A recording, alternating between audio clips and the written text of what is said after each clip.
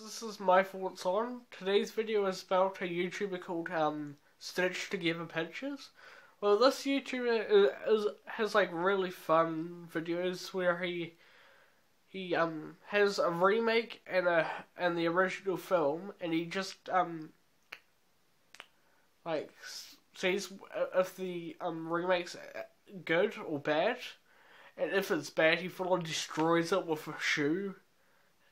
It's just really fun, and he's got a huge personality, which is awesome.